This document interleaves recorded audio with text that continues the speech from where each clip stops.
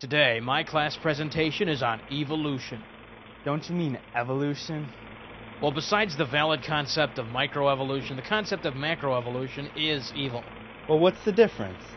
Microevolution is why there's variation within a species. For example, there are different breeds of dogs due to adaptation and natural selection, but they're all dogs. Isn't that just evolution? Macroevolution is a stretch of the imagination. It requires that a species must take extra genetic information. So, dinosaurs becoming birds, apes becoming humans, can't happen. Adaptation can only work for genetic information that's already there. It can't make anything new. So you're saying we've all been brainwashed? You know, there was a time in society when scientists actually concurred with Scripture. Hey, everybody knows we evolved from apes. If you believe in macroevolution, then you also believe we evolved from a rock. It's funny how you believe the most ridiculous concepts of creation just as long as you're not accountable for your actions. By the way, the missing link, it's still missing. Dude, if we did evolve from apes, there would be an overabundance of fossilized evidence of transitional forms of species. So far, zilch. Oh yeah, what about the dinosaurs? They're mentioned several times in the Bible. Oh, come on. All right, listen.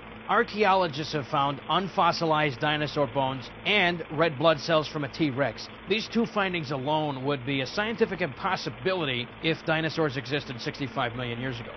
You forgot about carbon dating, smart guy. Carbon dating and all other forms of radiometric dating are so flawed that scientists don't even want to use them anymore to determine the age of fossils. So, how do they determine the age? They look at the layers of rock, place their own dates on these layers, and whatever layer the fossil falls on, voila, there's your age. Even though the carbon dating results say otherwise. How's that for exact science?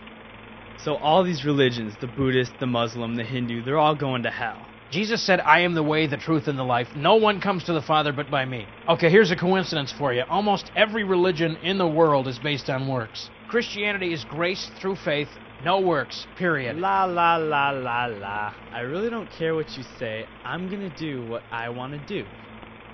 Well, you can do what you want to do, but uh, you're going to die. 150,000 people do it every day. You could be one of them. You're going to bet on that cold shoulder of pride that you're not going to be judged?